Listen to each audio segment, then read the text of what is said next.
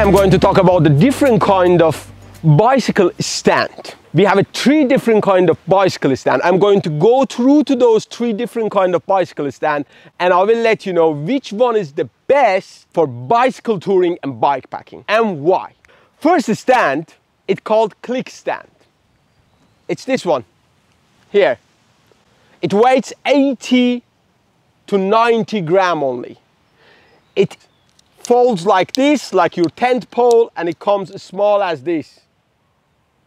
It's amazing. And you can put it like uh, basically wherever you can keep it. I usually keep it in this small snack bag on my handlebar. I just usually put it there and I keep it there. They also come with the holder so you can attach it to your frame if you want to. But there's a many reason why, in my opinion, this stand is the best. Let's go through to them. First of all, the click stand can stand any kind of load you have on your bicycle. Also, click stand won't damage your frame regardless of your frame material. Unlike the other stands, this is really, really important.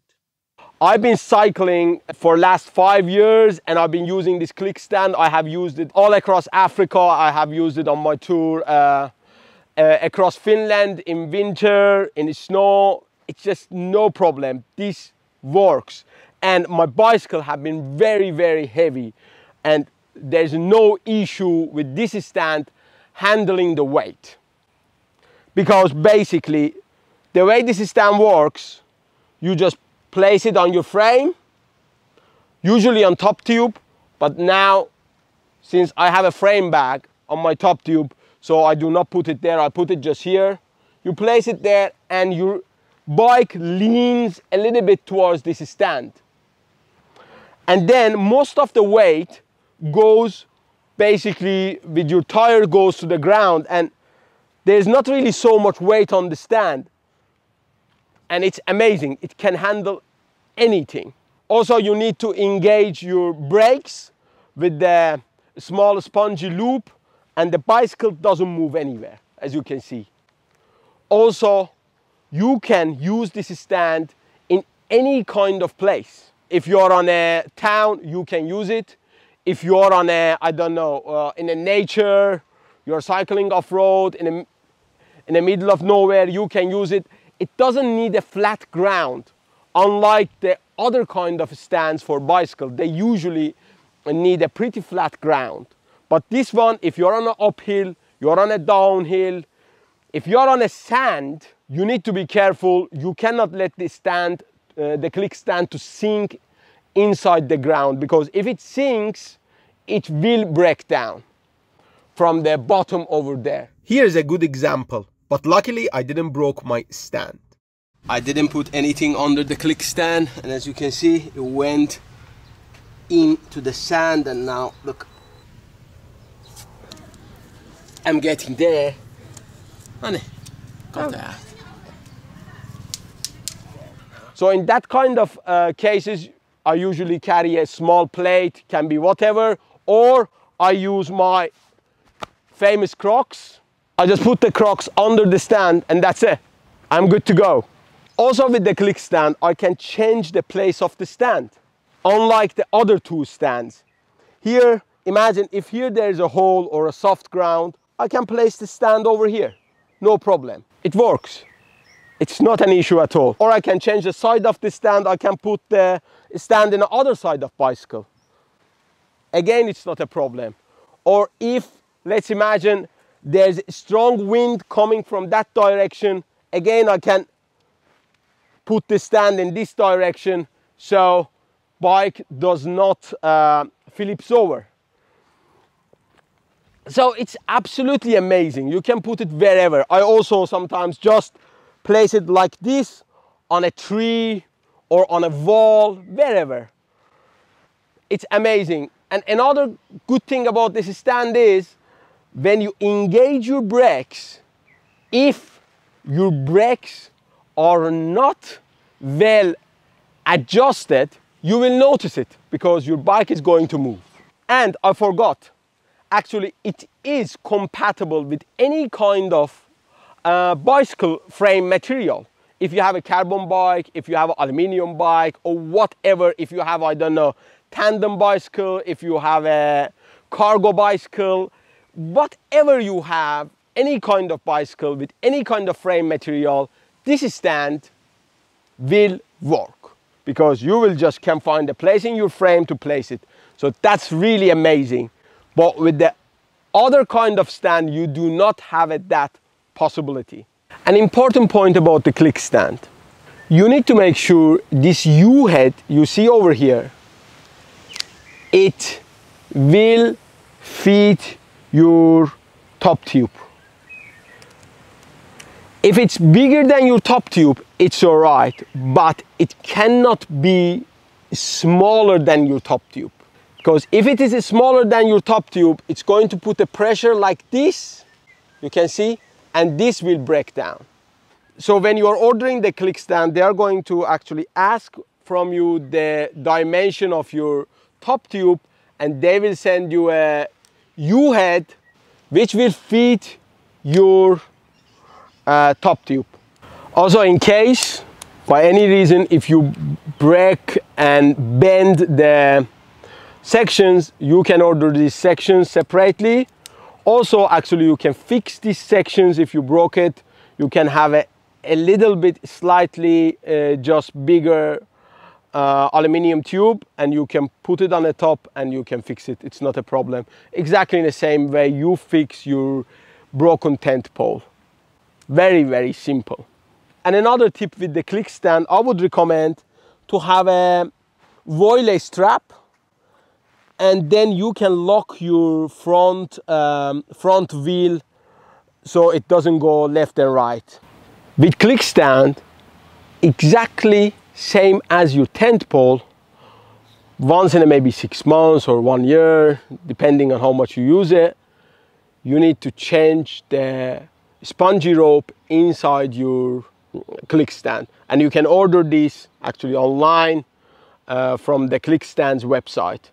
They sell all the spare part. Also, like at the end of it, they do sell it and each section of it you can order it and if you're wondering they have a two different thickness for the um, click stand and this is the thickest one i have no, i think it's called max But what is the downside of click stand? in the town it's a little bit inconvenient you can use it uh, i have used it in a town but really it's not the best in a town because when i put it in a town like this usually it sticks a little bit too much out uh, towards the left or right from your bicycle.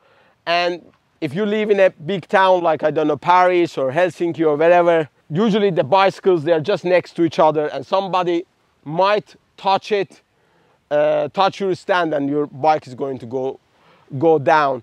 Also, with click stand, it takes a little bit of time till you park your bicycle.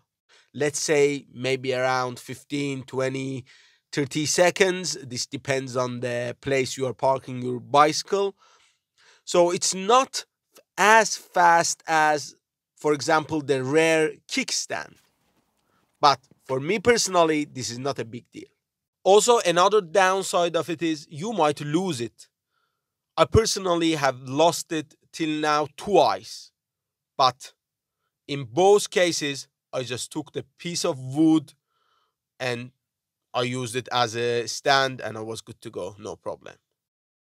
So I really do not recommend this stand for commuting, but for a bicycle touring and a bike packing, this is the ultimate stand in my opinion. If you think differently, just let me know in the comment section below.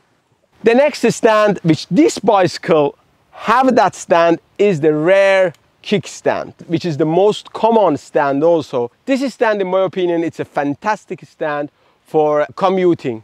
But when it comes to the bicycle touring with a loaded bike and a bike packing, in my opinion, it's not the best.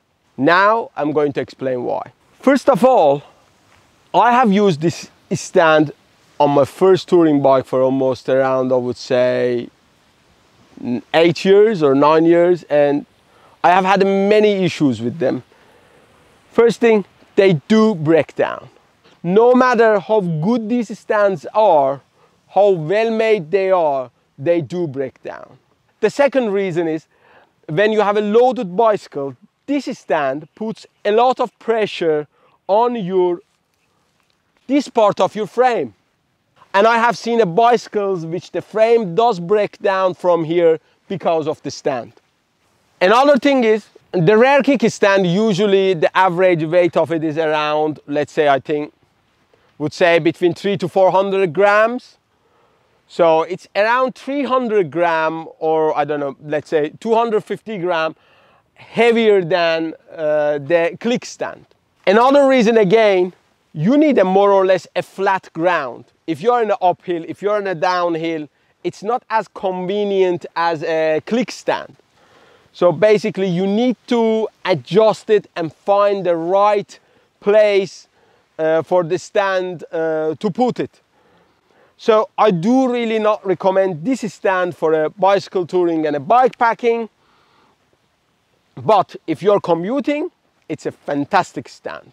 If you're using this stand still for a bicycle touring and bike packing, I really do recommend use the spongy loops and engage your brakes. That gives extra stability to the bicycle while parking. That's really, really important. And the third kind of stand called central double leg stand.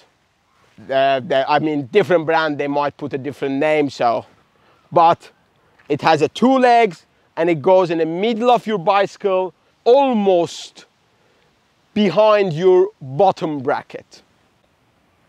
Many actually motorbikes, especially in old days, they had a, that kind of stand. It's very durable, it's very strong stand. It can hold a heavy load, but it's very heavy. It's almost around one kilogram. Also, it needs just a flat, totally flat ground in order to work properly. And other thing is also you need a frame which is designed for that stand.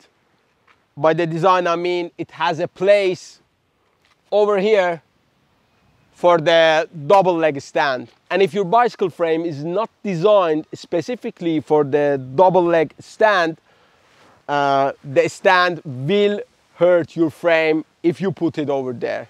I have tried with the two of the bicycles uh, before with the uh, Surly Long Haul Trucker and with the VSF TX400 with both of them stand did start to hurt the frame bend the frame from the bottom also it never worked properly because when I was cycling with the stand stand always uh, used to move towards the right side or the left side so it was very very annoying yeah and I find it pretty to be honest, useless when it comes for a bicycle touring or a bike packing. But in my opinion, best use for the double leg central stand is the cargo bikes. I think that stand is a really, really a good stand for a cargo bikes because you are usually using the cargo bikes on the town and most of the cargo bikes actually their frame is designed for this stand so you just can put it there and it will do a fantastic job. The conclusion, as I mentioned in the beginning, I highly would recommend a click stand for bicycle touring and bike packing. But I want to mention here, this video is not supported by a click stand. I have bought my first click stand and click stand has not paid me anything for this video. This video is totally independent. But the stand is such an amazing stand. I would like to share with all of you my experience about it but also many of you have asked um, from me, what is that stick payment you have on your bicycle? Uh, when you park, you use it. So now you know that called click stand. also the brand is actually a small brand from US and I really love to support uh, small brands. So I put the link for the click stand on the description below. It's not affiliated link or anything. Just I put the link to the website uh, of the click stand so you can order it from there if you want to. But that's it. I hope you enjoyed of the video. If you did or if you didn't, you can give it a thumbs up and if you find it useful, I hope you did, you can share it.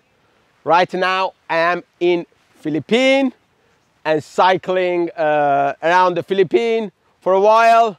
Then I will go back to Finland and I promise you guys I will keep up with the vlogs. I know vlogs have been late and I'm sorry for that, but they are going to be published soon. Much love to all of you. See you in the next video and remember to subscribe so I can keep making these videos. First day of cycling in Namibia.